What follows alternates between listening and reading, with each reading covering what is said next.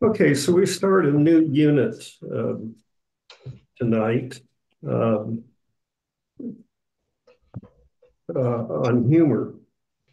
And, uh, and I think it's actually a fairly important part of learning how to um, uh, how to love. Uh, the issue is how to love when humor gets out of control and is uh, demeaning so a priest, a pastor, and the rabbi, no. no, no, no. The we're we're talking about humor, but but that's only what we're really talking about is ego. The the um, when when you talk about healing hum, humor and when you talk about divisive humor, um, we're not going to use the word ego all that often, but we really are talking about ego. There's something deeper going on than whether we're appropriately funny or not. That's not really the uh, uh, the issue uh, that we're looking at. Uh, for me, preparing for this unit has been a matter of self-reflection and self-revelation. We all struggle. Well, no, we probably all don't but a whole lot. And certainly I struggled with, um, uh, uh, that wasn't, that wasn't, that wasn't quite what I wanted to say. I, mm, you know, who, um, or, or I should have said something. That, that may come up more often in our discussion, that, that humor happens, seem, it seems like humor, but it has a dig in it. You think, oh, I think so-and-so bled over that, and I didn't do anything about it. Um, and um, uh, so if if it occurs to you that the you're not getting this 100% right, I'm certainly with you that, that, that this, this is a struggle. Um, but there's also a sub theme I want you to be listening for in the next two or three weeks as we talk about this, and that is how we hear scripture, in what tone. In what tone do we hear scripture? And that'll make more sense as we as we go along. But there, there's numbers of issues on the table: humor, ego, um, and also how we hear scripture, the tonality to explain that a little bit better right now. What we're going to come to is the recognition, or at least the question, of when Jesus says a certain sentence. Um, if you do not hate your mother and father, if you do not hate your mother and father, if you do not hate your mother and father, means two different things you know, but we hear the tone as as deeply devout, deeply serious, deeply heaven and hell hang in the balance when you know on some of these things. And and uh, and the question that that I'm going to raise and uh, is the Bible isn't written in one tone. It's written in all the tones we are capable of.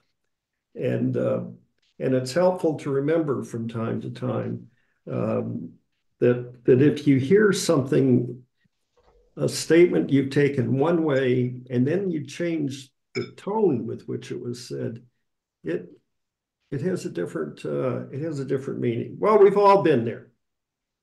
When someone goes with humor that diminishes, belittles, or flat out insults another person, or perhaps an entire group of people, but it's clever, and others around us freely laugh.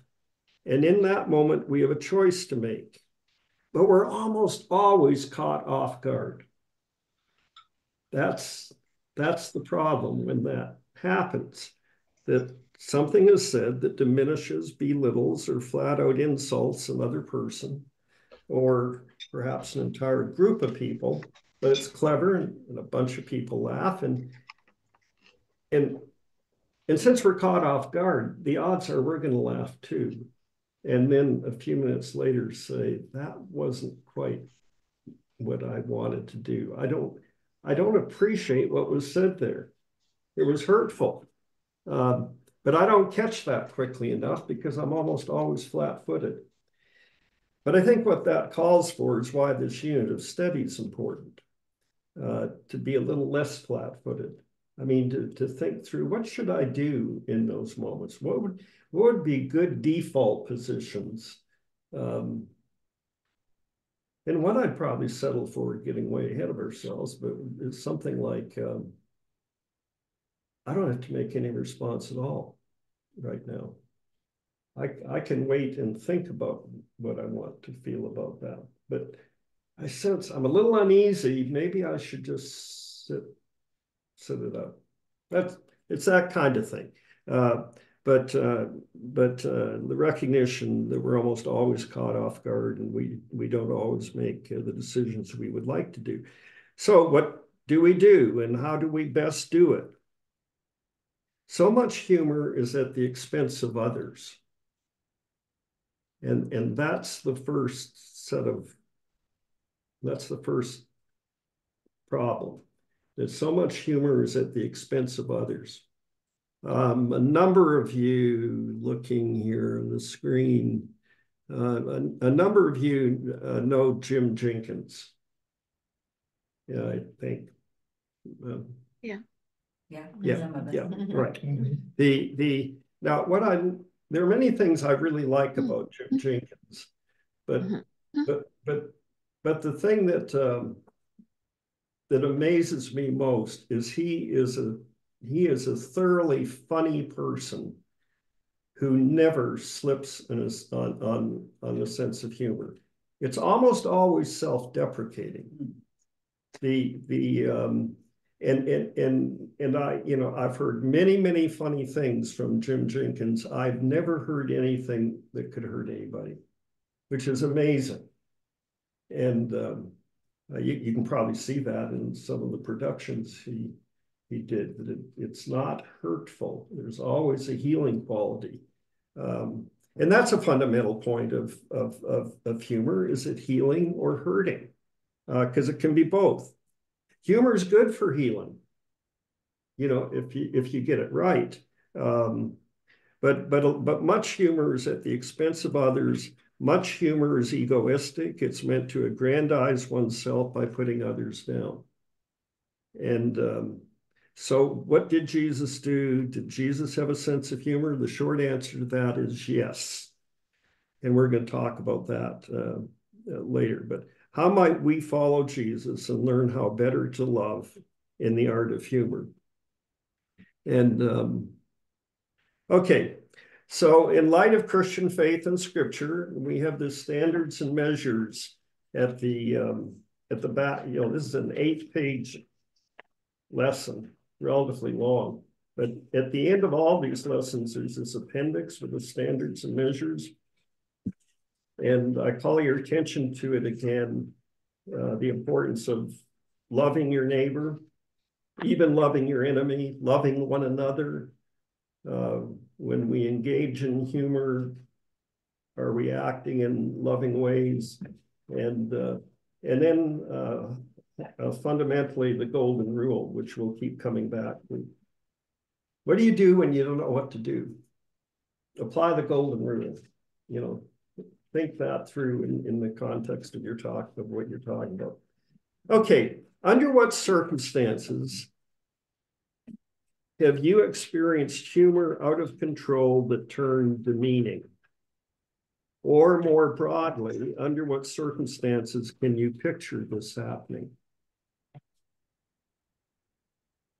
Someone goes with humor that diminishes, belittles, or flat out insults another person or in what circumstances does that tend to happen?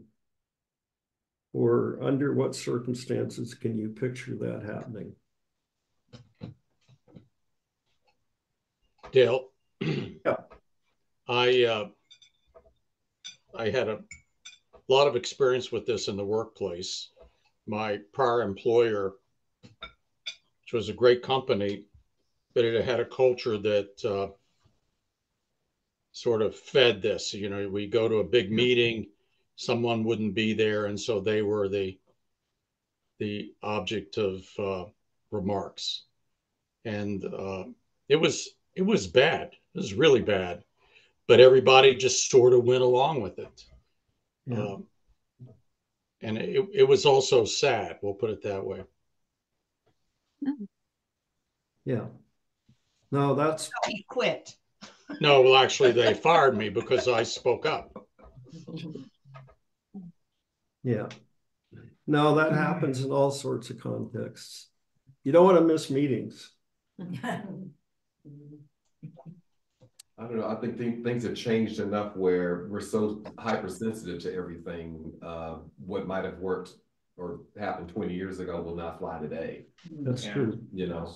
Well, yeah, humor is always a moving target anyway. Yeah. But Mhm. one of my friends who uh was terribly funny and uh but but he was saying that when you when he thinks that almost all funny comments he makes are at the expense, unless they're self self-deprecating. Hmm. They're almost always at the expense of somebody else slightly or a group of people, because you're pointing out, you know, I don't care if it's just a little comment or whatever, you're, you're kind of grouping a stereotype, you're talking about a stereotype, and that's what makes it funny, is because it's a stereotype or something. It may not be that bad or whatever, but, but he was saying when, when you hmm. analyze these hmm. sort of things, it, it's almost always, you know, not, it can, you know, it can be troublesome, that's what I'm saying, and, you know, Yeah.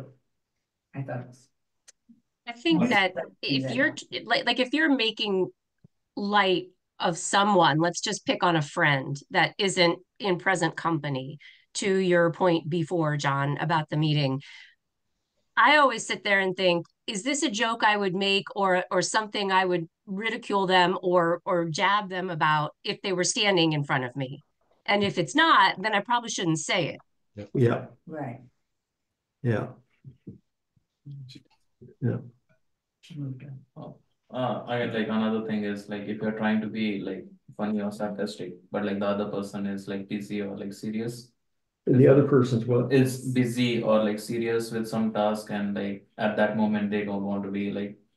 Uh, having like fun with you, Yeah, but you don't understand that and like then it will, it it becomes troublesome at that point also. Mhm. That is like one crucial thing I would say. Yeah, And, and, and, and that's a real problem and, and, and, um. I mean, that happened to me a couple of weeks ago that I just had a weekend where my hearing aids were off. I was fighting a cold, I was this, I was that. And someone barked out at the beginning of class, uh. Some funny comment. I just went. I mean, I just think, I mean, because I just wasn't, you know, and they didn't know. I mean, that comment would have been just fine nine times out of ten. But, but you have to watch for that. I mean, because you really don't know what the other person's up for in, in that. You don't know what they're dealing with that day. Um, and the assumption is it's all okay and it's, it's open season, but not, you, you know, it's not always. I think also, we haven't mentioned it, but respect or a lack of respect enters in here. We can all have fun with each other and kid each other, but when you cross a line and show a disrespect or something demeaning or devaluing of the other person, now you got a problem. Yeah. Yeah. So setting circumstances where this can happen, what I have written down here, it's, it's not, it's not where it usually happens to be, but where it, where where it struck me is in potluck lines at church. And, and it, uh, and it probably struck me because it doesn't like usually happen, but it's sort of like startling when it does. And you're just walking down the line and someone makes this comment about so-and-so or someone, and, you know, I remember back in the, you know, back numbers of years ago when I first got my, uh, when I, when I had lost my, enough of my hearing that I need hearing aids and so on. So my hearing, hearing was not what it used to be. And, and the first thing I thought was, good, there's a bunch of things I'm not going to hear. And that is like really good. I mean, so, so, you know, you hear something and you think, I'm not sure, that might have been kind of a sketchy, never mind. And, um, and that just saved, that just saved me a whole lot of, uh, agita from, from then on. But, but I, mean- I mean, humor's out there all the time. We, we learn our patterns from society. And, and, uh, uh, as we mentioned at the very beginning, a whole lot of ego is involved in it. And, and mishaps happen. And, and so what we're working with here is what's, well, I'll get to that in just a second, but what we're working at is when you hear something that strikes you as inappropriate, it catches you off guard, you're flat-footed. But what you want to figure out is, is to do something that won't do more harm than good. You know, I, I, I mean, I mean, by making like a really big deal here, um, chances are that's not quite the answer uh, either. So, so it's a matter of, so, so what I'm saying, this is a very good lesson in the art of learning to live a life of love, because it actually takes learning. I mean, it, to, to recognize that, uh, to recognize at certain points, what I might be inclined to point out how sexist that remark is. And I've terribly embarrassed the person that just made it. And chances are I haven't in any way dislodged them from their sexism. I've, I've probably entrenched them. I mean, turned them defensive. See what I mean? I'm, what, what works and what doesn't work is what we're trying to, to figure out. Um, Yeah, Gail? sometimes you just let I- it, let it hang in the Yeah, air. let it let, let it hang. Because once somebody says something and they cut and you go, Yeah, and they think about it, because we're all basically on the same page, and when you, you hear that, it's like, I probably shouldn't have said that. I mean, ye- years ago, this man named Jake Arnold, he's, he's with the Lord now. And it was back in the hope. late seventies. And um, he was a really nice man. He had three beautiful daughters. And he saw me after church. I was visiting a, a, a congregation uh, across town from where I normally attended. And he came up to me and he said, he said, Eddie, haven't seen you in a coon's age. And I just looked at him and the look on his face, he was just so mortified. And that's all I needed. Mm. You know, he, Yeah. he said something, I mean, I understood what he said, but you know, just, you know, Right, that, that wasn't, that wasn't really cool. And I just kind of laughed it off, said, oh, Jay, you know, it's good Yeah, to yeah. you too. well, that sounds like And you he was handled it great. He was mortified, right. you know, but I just, you know, Let it hang let it hang. and let them. Yeah, let us win. The problem, Eddie, with this humor, see if it works. You, you have the most expressive face of anyone I know. I hate that. Yeah, I've been told, yeah, fix my yeah. face. Well, well, but it work, it works perfectly for what you just said. Yeah, Because you can let it hang and you did communicate yes, what you wanted to communicate. yes. The, a person with a less expressive face is, I don't think they caught it at all, hmm you know, so. hmm But, but yeah, Sometimes you can just let it fall flat. yes. let it fall flat. If, Let it hang I- is I still a the it's key. one thing if the object of the humor, that's the butt of the joke or whatever, is standing in the same group, we've got a whole different scenario going. Than if they're just making a comment about some group or whatever that you find kind of inappropriate. I mean, if it's really bad, you have to say something, but if you just wanna say, you know, kind of like, just, just let it fall flat. I, I don't, you know, Yeah. you, I didn't make me laugh. It didn't make me laugh, you know, Right. just like, let it, You can, But- you can literally feel the air being sucked out of the room. right, And And then, again- and then you feel for the person yeah, and you want to just move on, so That's we right. don't dwell on it, you That's know, right. just address it and then move on. right. Well, that's, that's ideal. that's an ideal situation when, when that happens. But I think what, what I'm envisioning here more often is we all start laughing. We all, it was, a- it was an inappropriate comment, but it was witty and clever Mm, and we all went for it. mm. Right. That's, that's to me the, Now, so, someone made a comment on, online. Rosemary was trying to get in. Um, yeah, if I could quote a funny guy, Jerry Seinfeld just in the last week said that the problem with stand-up comedy is that you are you now can't risk anything because you would be politically incorrect. So what used to be funny, we now are a little more cautious about. Being in the field of blindness, I think of Mr. Magoo. He mm-hmm. used to be funny, but if you're Yeah. blind, Mr. Magoo actually makes fun of blindness. So there's so many things that we used to laugh at that I think we're a little more sensitive about now that makes us think twice. Yeah, I, I heard that same, I heard that same interview, Rosemary. It was really interesting and it goes to what um, Kathy was saying that, you know, humor is a moving target. I mean, we all remember Foster Brooks and his whole shtick about being the drunken driver and talked about, Mm. nature, you know, and then he lost his, he lost his whole livelihood because that whole character became, you know, inappropriate. Mm-hmm. Right, but it used to be funny, It used to be funny. and it, that's Yeah. what happens. I- Yeah. We were watching a television show last night, um. The um, Feld, Feldmans? Anyways, the story of uh Steven Spielberg's. Oh, yeah, the- yeah. Right, And he, he as a teenager gets, um. Becomes the brunt of jokes at his school. And, um, because he's Jewish and he's the only Jewish person in, in the school, and he gets picked on and beat up. And, uh, but a lot of it's just, the humor is, just, I mean, it's just really hard on him. And that, so we, I mean, obviously, we are not going to be doing that to one another.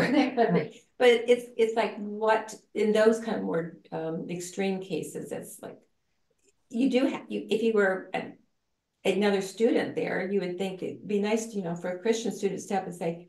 sa- Somehow be, identify with him, you know, be able to, um. Step in in some way, and, and I, I'm kind of at, at, at loss as to exactly how to describe that, but. Yeah. That's, that's the kind of situations that I find to be really offensive. Mhm. Yeah. Yeah, now what, what he does, it, it, it, it's, um, the names are changed. It- it's about a fictional family, but, but, uh, but it's based on his childhood, what his childhood experience. It's very, it's very, very well done.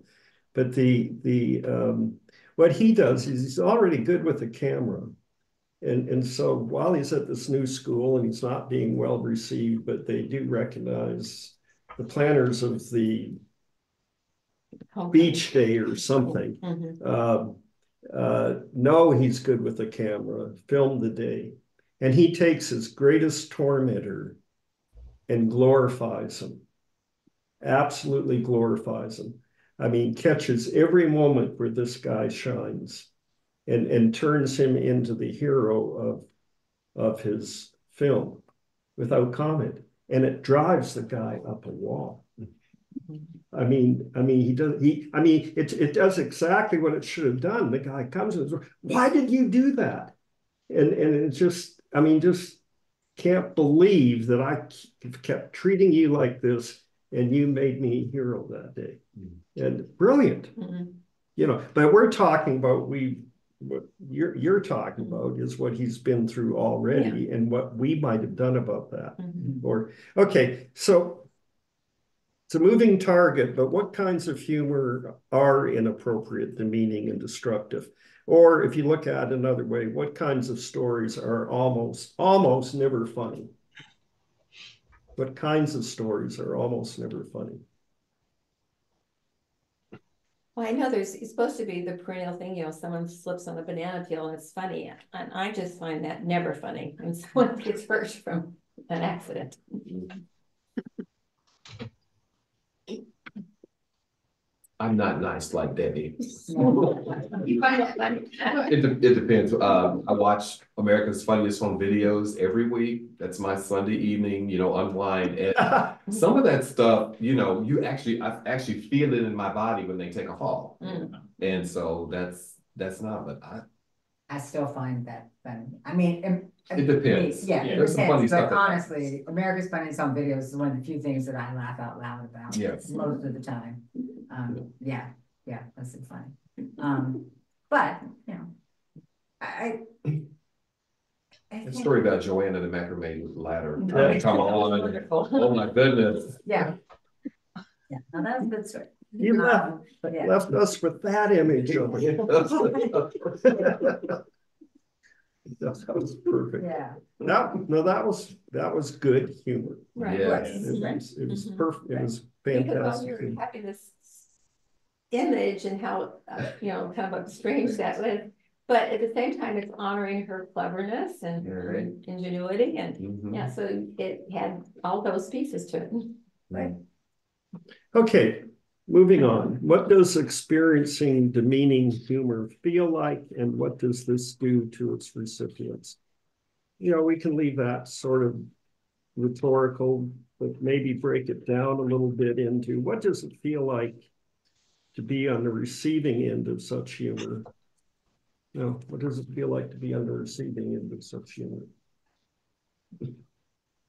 Sandy, why are you looking at me? Anyway, it can, it can be painful. Um, you know, I grew up in the South and, uh, I went to high school with people that weren't used to going to school and, uh, going to school with a diverse student body. And, uh, sometimes they, they felt close enough to you to really say some really stupid things. Mhm. And, uh, you know, uh, I would take that and try to make it a teaching moment. Uh, that's where I started learning to do my faces. But, uh, yeah, so people, people can make a lot, you know, things that are always said, you know, black people are always late and this, that, or the other, and it's more confusing than Father's Day in Color Town and, you know, all of those kinds of things. And so we, we have to address some of those things, and a lot of those things I heard in the church, Yeah, Mhm. you know? yeah, I, I think there are cases where you might, if you're the subject of that kind of humor, you might be inclined to believe it. yeah, So that's worse than hurtful. Mhm. It's yes, transformative, Mm. right? And and talk about devaluing. Mm. it's deformative, Mhm. Right, Yeah. right. yeah. Yeah, that, Which in some cases may be the point of the humor. Yeah, Mhm. yeah, that, that's the worst case scenario is, that is that, is that often the recipients, regular recipients of humor begin to internalize, may begin to Mhm. internalize it, Mhm. accept that as the truth about themselves. And that's the worst outcome. Well, and even if you don't personally, even if you, you know deep inside, it's not you or it's not your, you know, what it- the fact that you feel like a whole lot of people out there have that feeling because they all laughed or they all made fun of it Yeah. or whatever. It just makes you feel more oppressed. I mean, Mhm. because when I moved to Australia, people made fun of Americans somewhat, but they made fun of Christians a lot. Hmm. And, um, and, and it's, you know, it really, that was, that was an open, open game on Christians in a way that at the time was not in the United States Right. at all. Hmm. Um, you know, you would hear jokes where Christ is the butt of the joke Yeah, which you don't hear so much now. Um, or I, did- you know, I probably, I think they're in the US more now, but anyway, but they were, that was a real big deal, or, or people making fun of you as a Christian or whatever. Um, and, and not that you were giving that up, but just that you felt so outnumbered. Yeah, And, and as a teenager, that was, you know, And isolated. yeah, you just, you just feel like, wow. you know, very outnumbered. Mm. there have been, uh, well, let me take ten minutes and catch Jamie up. Sorry. You, Oh, you, you'll, you'll catch it. Someday. Yeah. The, um, yeah, I, I, I mean, there've been celebrated cases, uh, more like sort of in the aftermath of 9-11. There were a number of celebrated cases of Muhammad being the butt of the joke. Mhm. Mhm. And, and, um, and I think, you know, I think most people learned that that's not cool. Um, but at first, it's, at first it was open season. And, uh, Yeah, I mean, back in the day, when, whenever there was a dust up in the Middle East, there was those faxes that went around with the drawings and stuff, you Yeah. know, just. Now we have email. Okay, so we're, we're talking about humor that's, um, that's, uh, clever, that's witty, but that is, has some destructive aspect to it. It diminishes someone or, um, it demeans, uh, people in various ways. How is this, so think clever, witty, blah, blah, blah, blah. Um, and someone's likely the target of what you just said. How is this situation often depicted in movies, TV shows, or books? And with what consequences? What are we absorbing from our culture about this? Cool or not cool? Dale, are we talking like about a joke that backfires and could cause harm to somebody? Yes. Mhm, That would be. Yeah. Yeah. Yeah, Well, and, and the, the, the, the, jo- the joking that, that could cause harm to someone, we would wish it would backfire. Mhm. But it, but it, you know, but it, but we're, we're talking about it just harms somebody. It hurts their feelings. It, it uh, makes them feel poorly about themselves. It depresses them. It makes them feel like the outsider in the group. There's nothing good about it. But anyway, in movies, TV shows, and books, how is this depicted? And with what consequences? Depends on the story. Yeah, Broad range of things. It's, it's celebrated. well, no, but sometimes it's the, it's the way that the hero stands up to. you know, Sometimes. Thing, because, Well, yeah, it's not a universal point, Yeah. and and sometimes the hero does become a hero because they do stand up, you're right. right, cause it, it- it. But you know, you have, uh, what I'm getting at, there's, there's so many examples, uh, Bogart and, and Bacall, if you're, just the witticism going back and forth. And, and, you know, if, if I went back and watched the two of them, they're probably both up for it. You know, so that's, that may not be, yeah, but, but James Bond can always is a clever put down. And, and you, and you're with him. Mhm. You're so proud that he can always be right that his wit is that sharp and that clever. And what do you want to do? You want to be James Bond. Mhm. And, you know, in that moment, you're going to be like him. And that probably won't work, you know. I'm, I love James Bond movies, but, you know, the, the, you know, Harrison Ford in almost every show, the wit and the, and, and, you know, he's, he- what I'm saying is he is an admired actor and for a good reason but just the the cleverness of the guy and and often there's someone who's the recipient of of of what he um, what he said northern exposure which we've gone back and been watching on the on prime and and uh, watching uh, Joel and Maggie in their relationship if, if you if you haven't seen it in ages Joel's the Jewish doctor from New York that ends up in this town in Alaska. And Maggie's the the woman who flies planes and and there's something between them, but it something. And you know, we watched four seasons now, and I couldn't tell you what that something is, but there's something between them. Uh, but the you know the they in many moments they savage one another and and then other moments you know uh, and, and again you know again maybe they're reading one another well but but the people who watching them may not be as good readers of their relationships. That's what i'm i'm saying tv makes some things look cool that a lot of us probably aren't skillful enough to to Take that message. to take to yeah. The talk radio what talk radio and talk shows what are they put down after put down after put down and so then we go out on social media or um, or in our arenas and and are more inclined to think that's like okay Mhm.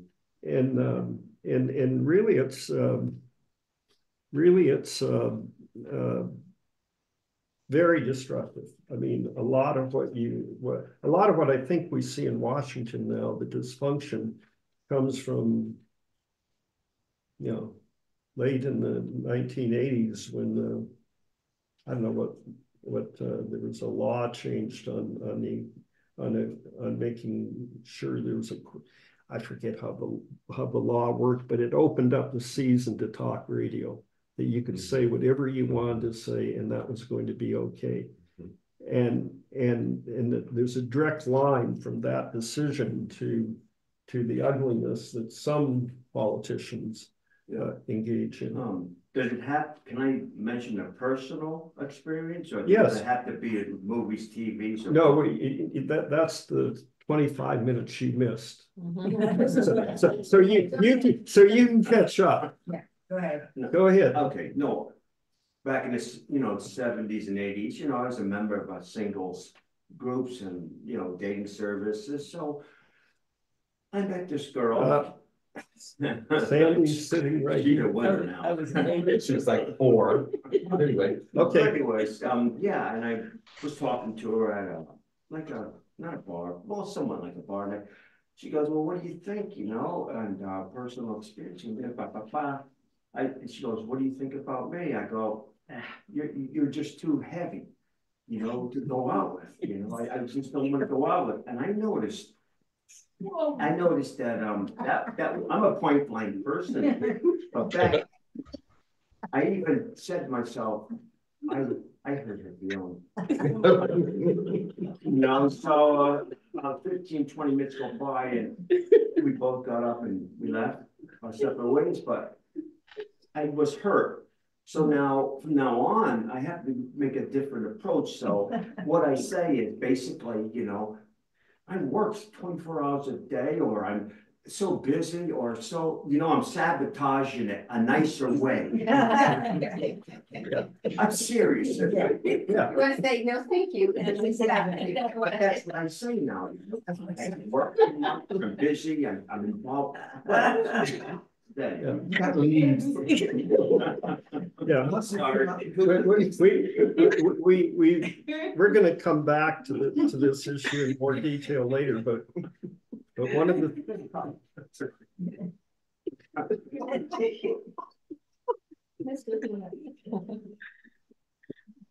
what, what, you know, one of the kinds of stories that are almost never funny is about a person's appearance, Right. period. I learned. About Yeah. a person's appearance. That will not turn into a healing situation. No. Right. But, but great, il- great illustration, great illustration. Right. and it's also not safe right now, so yeah. Yeah. At, at this day and age, it's not safe. Like back then, you can say something like that. Mhm. Right now, they're like, uh, yeah, that's all. Yeah, They'll say like you're fat shaming or something like that. that's right. Yeah. I'm call the police. Yeah. Okay, the, the, the, the point is in our culture, the clever witticism, including the clever put down, is the way you identify superiority. You know, that's, that is the, I mean, if- if, if they do it with a certain class, Someone's in the waiting room. oh, someone's in the waiting room. Yeah. No, Robert's been in. uh, Yeah. Okay, okay. Thank you, Debbie. The, the, um, so, so, so in, in media, it indicate, it's meant to indicate that you're the person in control. You're, you know, and, and, and, and which makes, you know, as you're growing up, you think, I want to be that person. And you tend to start taking on some of the qualities of that person, including ones that aren't particularly Christian. Um, okay, so here we come to a section that we always do in these units, which is recalling stories or teachings from the life of Jesus or other texts in scripture that perhaps show you loving ways forward in responding to humor that's out of control and is demeaning. So stories or teachings from the life of Jesus or from other scriptures. You don't need to know, know the book, chapter, and verse. The tell it, tell it to us the best you can, and if someone in the room knows it, they can speak up, but you don't have to. Just, what are you thinking? What do you remember from scripture or the, or the life of Jesus or other texts in scripture that, that I talk think it- about Oh, I think it's the the way he treated Zacchaeus because Zacchaeus was the the butt of a lot of negative commentary and or jokes. Mhm. Well, he was a wee little man, Stacy. yeah, but no, that's, that's, that is perfect. That's exactly it.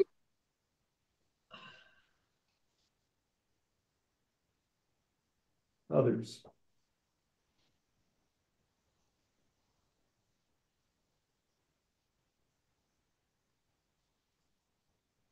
Can you can you imagine standing there when his mother comes up at the wedding and says, uh, "They're out of the wine. Uh, can you help us out here?" You know, can you imagine really the tone of that conversation? Well, you see, that's exactly, that's exactly, um, that's exactly the issue. Can you imagine the tone? You know, mother, what have I to do with you, or something Right. like that. Woman, what do I- Woman, what do I have to do Right. with you? Um, and, and, and if you think of it in, in conflictual ways, you know, it's a brush off. But if you think, oh, what do I have to do with you? You know, which is another complete thing. I mean, we read tones into these stories is what I, what I want you to keep thinking as we work with more of these tone, more of these stories going on. We, and so we understand the story this way. And I've always understood exactly the way John just said. The, the, but, but when I look at it now, I say, well, are we sure? Do we know the tone Jesus used when he said? There's so many possibilities, right? yeah, well, and, and, and the thing we're gonna, the thing we're gonna head toward more, uh, maybe next week, but is, is the images we have of Jesus are essentially humorless. It's because of the art, the, the images that we have of him. I mean, just just in this moment, you know, like an, as an actor, I'm picturing Jesus. I mean, he wasn't sitting in a corner, you know, posing for a portrait. You know, Right. he's at a wedding, Mhm. so he's probably smiling. The little kids weren't afraid of him, so he probably smiled and Yeah, you know laughed or whatever. And maybe there was a, a dance going on, and he's smiling, and Mary comes up to him and says. Uh, Baby doll, we're out of we're out of wine. Woman, what am I to do with you? Wow. You exactly. I mean, you don't know. Yeah, yeah. You don't know, but, but Hard to. Yeah, the, the, so, so we're gonna keep coming, um, coming. Go ahead. I was, I was gonna say, but, but even, even today, people get into a lot of trouble because if, especially if you're a writer.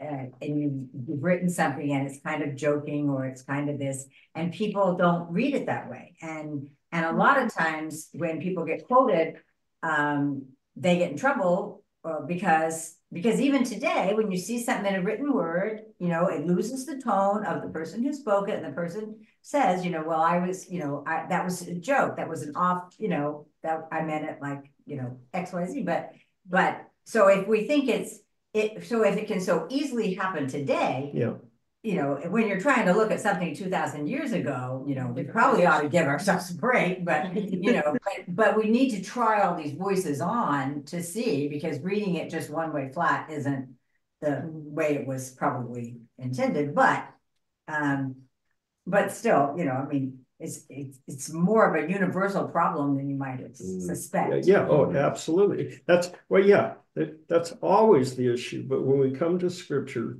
we tend to read it. My point through this whole unit is we tend to read it in one tone. Mhm. And it's not written in one tone. Um, it, it, it, it encompasses the, the, all of humanity. And, and, and a, a, a point, I even have the picture of it in the next page. The, the, um, the, um, the, the TV uh, series now, The Chosen, um, which I recommend to anyone, especially if they haven't seen it. Um, the depiction of Jesus gets this. Mm. I mean, it would be, it would be, mother, what, what can I do? I mean, come on, Mhm. you know, it's not my time, you Mhm. know, but, but it's, it doesn't indicate rejection, it indicates intimacy, Mhm. you know? Mhm. Um, and, and, uh, and, and, and, and, and I, I think the more people who see the chosen is, it's actually gonna have an impact in how scripture is read. Hmm. Mhm. On actually how scripture is read, and it'll be a positive, a constructive impact. Okay, what we're gonna look at for, uh, last few minutes is, is a number of texts that, that I've thought of and found that, that relate to that relate to appropriate language and inappropriate language. And that's usually what these texts are dealing with, is appropriate language and inappropriate language. Are they dealing with humor? Um, likely, partly, but not specifically. Um, they're talking more about things like idle talk. Well, a lot of humor is idle talk. The, but there's idle talk that's not humor. You follow what I'm saying? It's, it's not a perfect fit here. But the first one is the ninth of the Ten Commandments, that thou shalt not bear false testimony against your neighbor. Well, there's a sense in which certain things you say about your neighbor, albeit cleverly and with humor, is false testimony. That's not who they are. That put down is not what they deserve. Um, and so even in a sense, the the the uh, the Ten Commandments starts raising the issue of talking about people in ways that are accurate and respectful. Tell the truth about that person. And that that tends to be not just their worst moment. Does that make sense to everybody? Mhm. That that uh that everybody has their worst moment, but that's not what you keep talking about. You, you talk about the person in a full, in a, a full uh, embodied sense. Uh, the way the Psalms begin.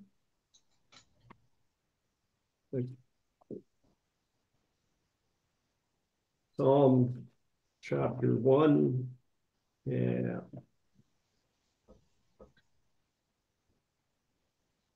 Confusion. Okay, blessed, oh, what? It sounds like the bells of transubstantiation during a mass. Um, Oh, a the real communion, deal. Yeah, oh, Yeah. when that takes place? Yeah. During communion? yeah. Blessed is the man who does not walk in the counsel of the wicked, or stand in the way of sinners, or sit in the seat of mockers. And so Psalm, the first Psalm, uh, verse one, first verse of the entire book, raises the issue of mocking. And that we we could address this whole issue through that lens.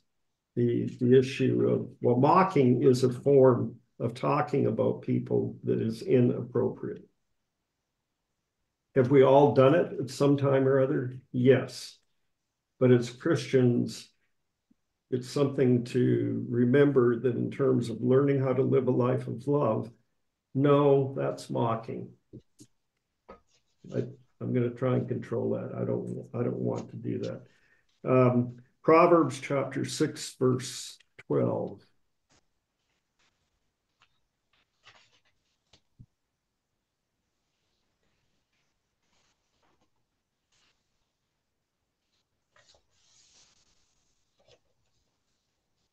Uh, verse 12 through 14.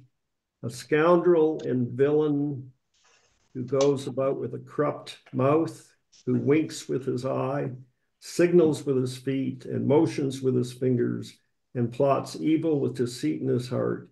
He always stirs up uh, dissension. I'm not sure. You know, one of the one of the thoughts I had when I was preparing th this material is is um, that I felt a shortcoming in and a limitation in even prepping for it is is knowing what humor contextually was then. You know, um, and and and I just have to say, on this particular unit, I'm treating it as if it were addressed to us today, just the way we're reading it. We have to. Usually, I'm looking for contextual material, and and I think probably someone's written the book on it. I just haven't read it. The, uh, but, but, but, so I I see, I see him winking with his eye, signaling with his feet, motion with his fingers. Whatever it is, he's stirring up dissension. And it's humor is capable of creating uh, uh, dissension. Chapter 12, verse 18 of Proverbs. Many proverbs would probably, you know, they talk about the tongue a lot. Okay, this one, reckless words pierce like a sword, but the tongue of the wise brings healing. And that's that's what to remember in, in conversation and communication. You're talking about someone. What can you say that brings healing into this situation? Or what would be a healing comment to make? Um, the uh, Isaiah 57, and we'll call it a day with that, but Isaiah 50, we'll call it a day with anyone ready to make a final comment or whatever, but Isaiah 57 verses 3 and 4. But you come here, you sons of a sorceress, you offspring. This isn't humor, this is flat out condemnation. But you come here, you sons of a sorceress, you offspring of adulterers and prostitutes. Whom are you mocking? At whom do you sneer and stick out your tongue? Are you not a brood of rebels, the offspring of liars? The, so that, that notion of sneering and sticking out your tongue. The, That seems to have lasted years. Yeah. You stick out your tongue and it's all funny. yeah, that aspect of humor is stuck. I just want to add, maybe this can be uh, ending for it, but um. Also, there's been studies shown that if you are very ill, and you're trying to recover from a surgery or some other thing. Watching funny movies, things that you find funny is very healing. Mhm. And that, you know, there's, Yeah, there's just no, this, just know that, you know, good laughter is great for you know. Right. processes. Mom and I Mhm. used to laugh a lot, even in the last four months. And Mhm. mom even said, you know, that's what makes this whole thing, Mhm. um, you know, good. Yeah. Is that you find the humor Mhm. in what's happening and- Mhm. or in whatever happens. So, But it's, yeah. that's a good, that's a good note to, to, Well, wait a second, Rosemary's got a good one. Okay. John and I are laughing here off screen. I just th- through all this conversation, I kept thinking of Monty Python on the Mount. Blessed be the cheesemakers. I love that whole skit. I, I know the whole one. like, Not that cheesemakers means anyone in the dairy industry. Well, the, the bottom, bottom line of what we're working with here is humor is good. Yeah, uh, what we're talking about is, is humor that harms Mhm. and hurts people. But humor itself is great. And, you know, as Debbie said, it's, uh, uh, humor is physiological. You know, it, it makes you better when it's done well. Um, okay, thank you, everyone. Sweet dreams, everybody. Good night. Bye. What I think